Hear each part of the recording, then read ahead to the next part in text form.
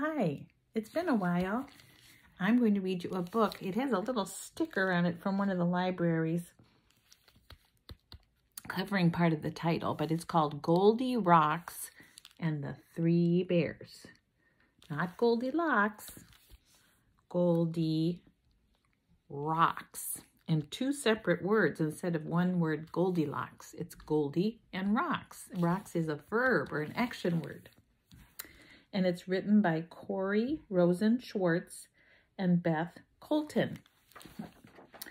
Now, usually I read these through, but I've only skimmed this one through, so hopefully we'll do okay with it, okay? It looks like a kind of a funny book.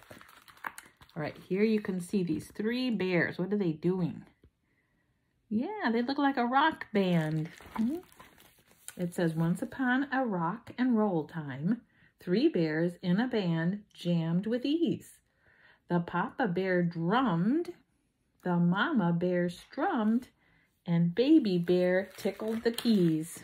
So you can see all their instruments there. Drums, guitar, and a keyboard. but the band didn't have many fans yet. And Papa Bear figured out why. There's a picture of them on the stage. They're performing, they're looking a little discouraged because look at the crowd in the seats. I can see a few uh, bugs. They look like grasshoppers. And these two grasshoppers are going thumbs down. That's kind of silly. The other ones look kind of interested.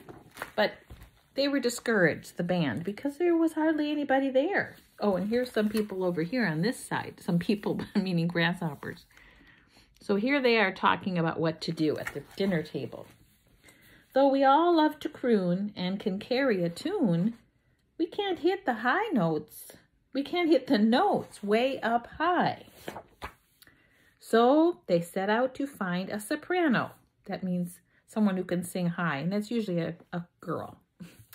Soon after they left, to, to go look for a soprano, a girl knocked. There she is, knock, knock. And here they were just leaving, and then she comes to the door after they leave. Hmm, starting to sound a little bit like the Three Bears, doesn't it? Is that porridge I smell? Gee, that would be swell. She checked, and the house was unlocked. What do you think she's going to find inside? She opened the door and you can see she's quite excited because she looked over here and she saw their instruments and microphones and speakers and all that kind of stuff. And she said, a studio, great balls of fire. Amazed, Goldi raced through the door. She forgot about food and was now in the mood to hurry on in and explore. So even though porridge smell had drift, drawn her to the door, now she went to look at all the equipment. The mama bear's mic hit her elbow. So she think it's wasn't quite the right height. And Pops reached the top of her head. There's the daddy bear or papa bear's microphone. But baby's was hiked just to where she liked. I'll give it a whirl, Goldi said. And there she found the mic by the keyboard was just right. So there she is. She grabbed it and started performing. Oh, dooby wop, dum diddy doo. Was singing quite well till she stumbled and fell. and the microphone stand broke in two. Oops. The microphone didn't break, but the stand it was on did, and the cord was all wrapped up. She's like, uh-oh. So Goldi said, I'll try the headphones. But Mama Bear's pair was too tight. Ugh. And the Papa Bear's headphones were too loose, meaning too big, right?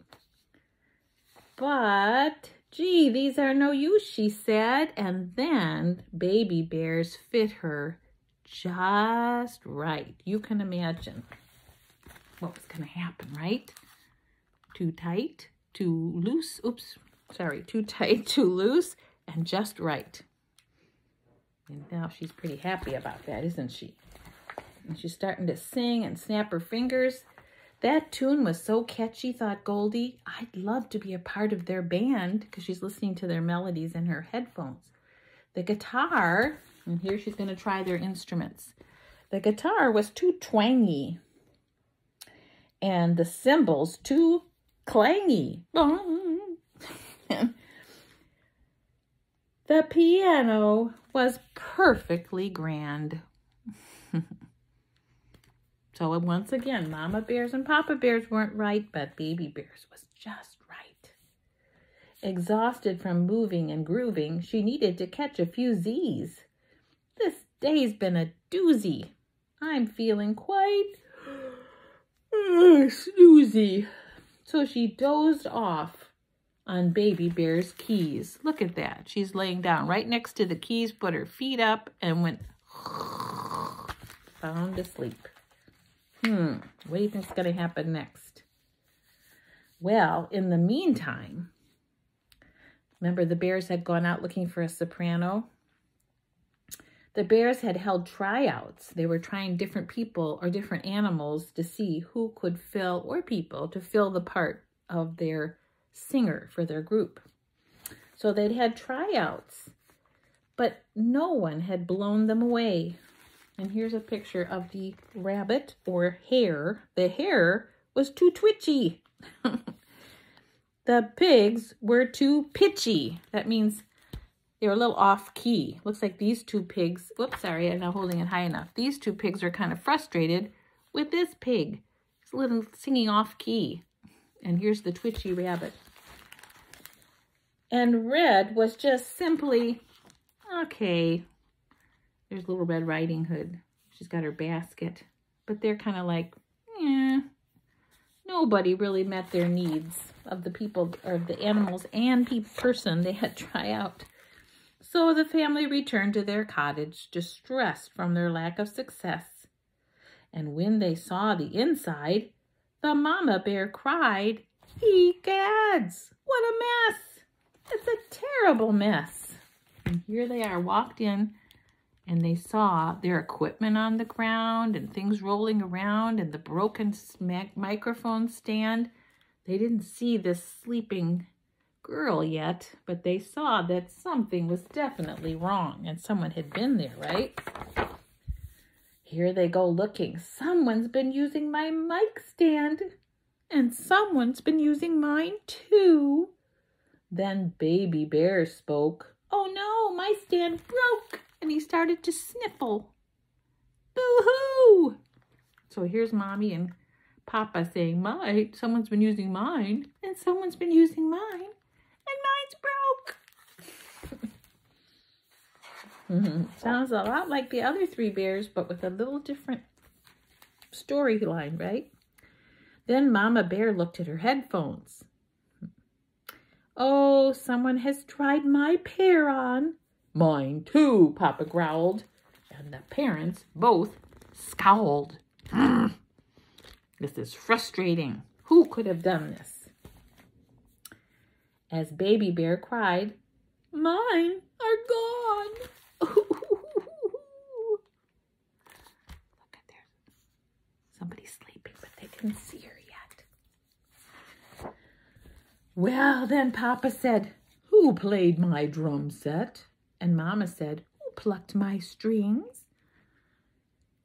And, well, who's in my chair? asked the littlest bear. She's drooling all over my things. Drooling? Look at this picture. They're like, huh?